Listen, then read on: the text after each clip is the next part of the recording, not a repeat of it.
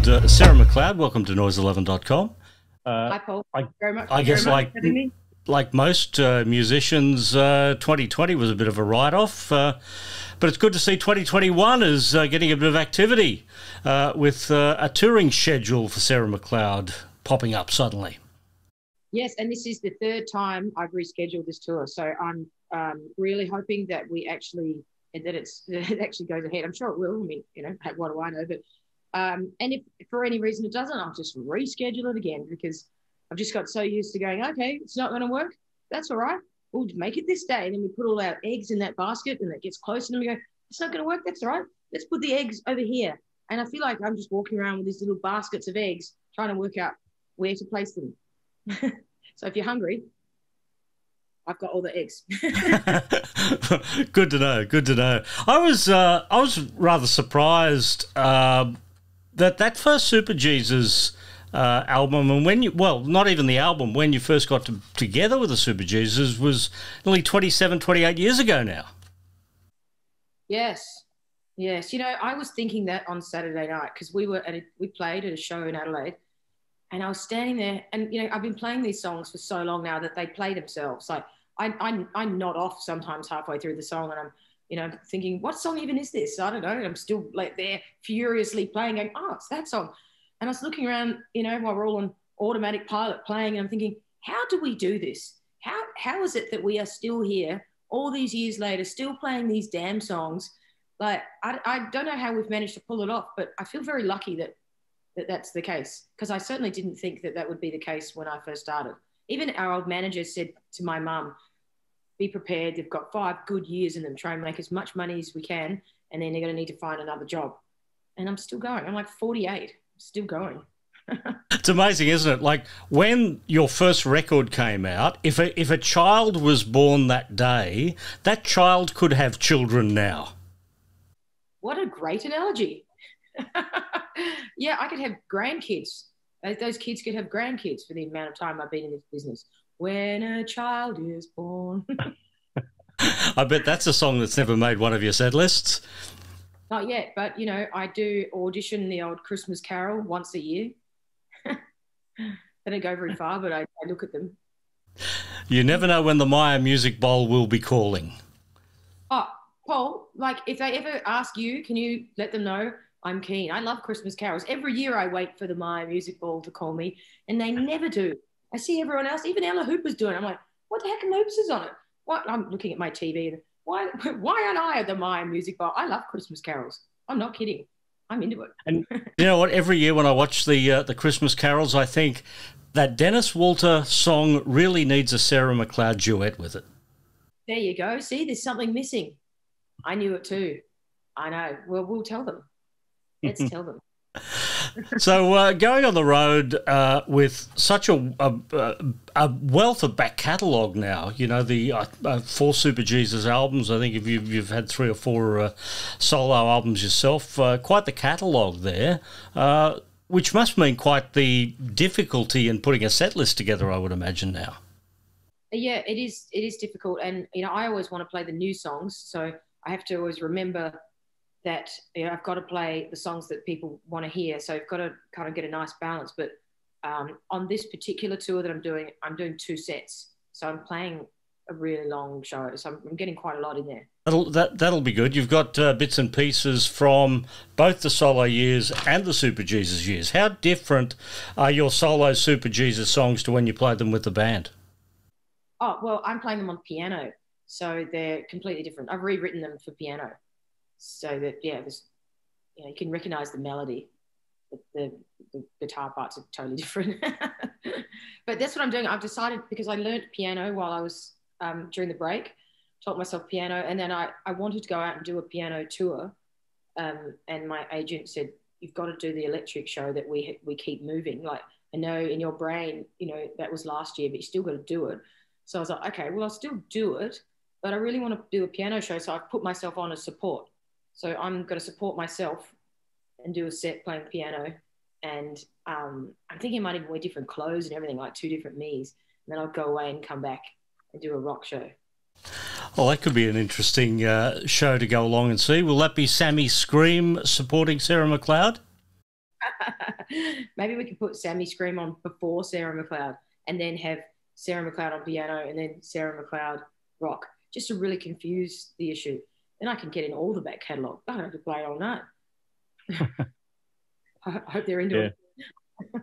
you've uh, you've gathered up the occasional uh, platinum award over the years. I can't see them on the uh, on the wall there. Where do you hide them? You can right there. Ah, just behind me. Above the um, above the piano. yeah, it's my little nook. That's where I work. I love it in there. It's so snuggly. Put all my pretty lights on, and I just sit at the piano. Hang on, I'll show you. It's like a it's like a studio built into the home. Yeah, I just sit here and I have this little swivel chair, so I go between the desk and the piano, so I can like record and then play. And I tuck myself in this little corner, so my back's in the corner because I like that. Otherwise, I feel like someone's going to come and stab me in the back, even though I live here by myself. Paranoia about always getting stabbed in the back. Um, but yes, so it's good. I, I recall you uh, telling me about that that piano at one point in the past. So that's the that's the baby grand that you uh, you acquired. Uh, what was the story behind how you acquired a baby grand? Um, well, that's that's a different one. But um, when I was living in Woodend, uh, I've decided I wanted to play because I just think they're really sexy. Baby grands are the most attractive looking thing. I used to stare at guitars. I used to every time I get a new guitar, I would stare at it more than I would play it. And then I my fascination shifted to pianos so I thought if I'm going to make an effort to play the piano, I should get a really good looking piano so that I want to sit at it. And um, I thought I just found one online, like on Gumtree. I don't know anything about pianos. It was like a Kawai baby grand. I just rang this like little old lady, and she's like, "Yeah, I've had it for you know 20 years." And I went, "Great, I'm sending over a truck." It was like four hour round trip in this truck. I was like, "Must have this one piano," and I loved it. And it turned out it was actually a really quite a rare, beautiful one had a really lovely warm tone. Then I came to Brisbane and it was just really expensive to bring the piano. So I thought I'll just, I'll sell it and I'll get another one. And so I, I bought one with Yamaha. It's a bit of a story. I bought one with Yamaha and, but I had to have it on back order because, you know, things weren't coming in from Asia. And so in the interim, they lent me this, which is actually like, have a look at this. It's actually, hang on, I'll see if I can show you this. It's an electric piano. Oh my God, my socks are on it. So bad. Sorry. It's an electric piano but it looks like a like a baby grand. So hang on. It's really, really cool. I don't like everyone should have one of these because look at this. Even if you don't play the piano, you should have one of these. Because it's also, can you see here? Yeah, it's also a stereo. And you Bluetooth it, and the music, can you see that? The music comes out here in these speakers. That's like incredible. It's, it's amazing. So I can sit here and like Bluetooth music and it comes out of the piano and I can play along. And the when I play, it comes out through here. It's totally cool. These are amazing. So I've had this for about um, four months now, and apparently my other piano is ready and should be here. It was actually supposed to be here today, but I just got a call from them saying that they can't fit it up the staircase. so I'm not sure what I'm going to do now. Yes. What about those guitars on the wall? How many of them are stars in their own right that have appeared on your platinum selling records of the past? Oh, I tell you, there is one hero. The main hero is the first guitar I ever got, and it is my favorite guitar of all time. And it's this brown one here, this brown 73 SG.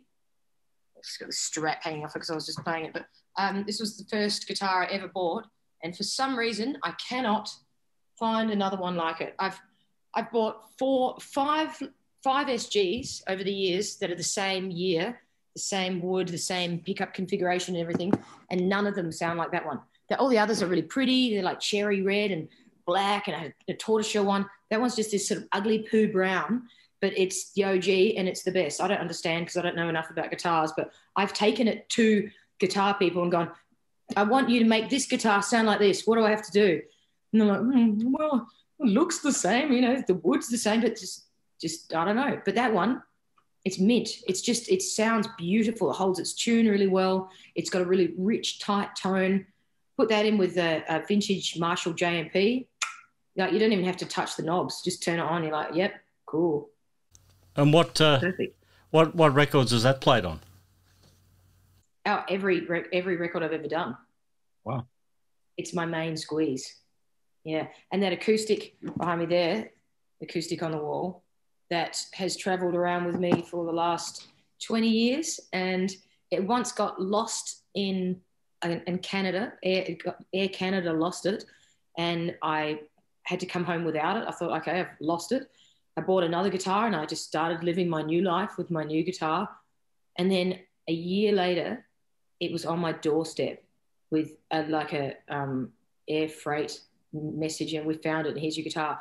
A year later, like no real explanation. I was like, I felt so bad because I went back inside to the new guitar and I had to explain that the old guitar was home. And I felt like those ladies who, you know, their husband would go to war and they would think that the husband's dead, so they remarry. And then the husband comes home and goes, Baby, I'm back. And they go, Fuck, I've actually started dating someone else. I felt like that. So I had to explain it to the new guitar. And I even went to the trouble of selling the new guitar. I got rid of it. I was like, I don't, I only want one and I want that one. And this is the best one. But now we're back together again. Wow, that was a very dramatic explanation. I, I'm full of dramatic explanations. Yes, sorry. How long have you got? sorry. It's because I got onion in my eyes. I would have, I would have thought the the drama uh, sort of suits you well now, doesn't it? Because uh, in recent years you've also become an actor in uh, in the Green Day American Idiot. What a great segue! I did, I did, I did American Idiot, and then after that I did Jane Eyre, which was like unreal, amazing. And I think we're going to tour that again. So it was, you know, Charlotte Bronte's Jane Eyre. We did that here at QPAC in Brisbane, and I wrote the score for it, and I was playing piano, and I played five characters in it. So when I wasn't on stage acting, I would run out the back and get a different outfit on, then run around the side and sing and play the piano, then run out the back, get a different outfit on, go back on and play a totally different character.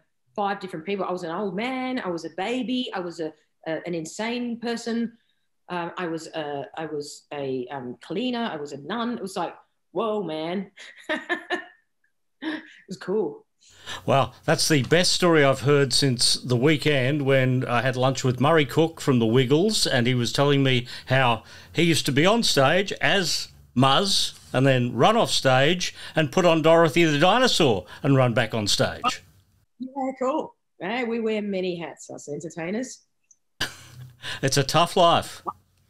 Well, when you've got a short attention span, it's actually really good to jump from character to character. I feel like in real life anyway. This time I just get paid to do it. yes. Let me prattle off a few dates. This is starting on the 5th of March in Ballina and pretty much Queensland. Well, you're going uh, over to South Australia as well. Um, South Australia, Victoria, New South Wales, and Queensland. So uh, quite the tour coming up, Sarah McLeod. Yep, quite the tour. I'm looking forward to it. It's going to be great because this is, I've never tried this whole two set thing before. And I get to try all of the things that interest me rather than just one.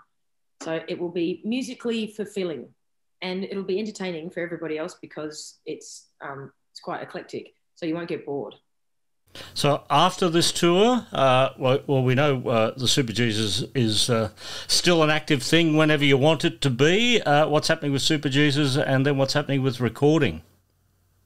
Well, we are writing new songs at the moment. Uh, we are very slow, so I don't know when the record will be ready. But we've we've got a you know handful of songs so far. They're really good. Well, I think they're really good. Um, so does Ruddy, so that's that's a good start. Um, we are doing a tour later this year, but it's not announced yet, so I'm not supposed to talk about it. But yes, we are still very much active. Well, good to see. So uh, after 2020, at least we will be seeing a lot more live music from you in 2021. Yeah, yeah. Like I'm touring the, the whole time pretty much. And then there's a few months in between where um, I'm hoping to sketch out some studio time to go and record some solo tracks and some Superjesus tracks um, if we can get them ready in time. Looking forward to it. Thank you, Sarah McLeod. You too. Thank you, Paul. Thanks for having me. Good to see you again.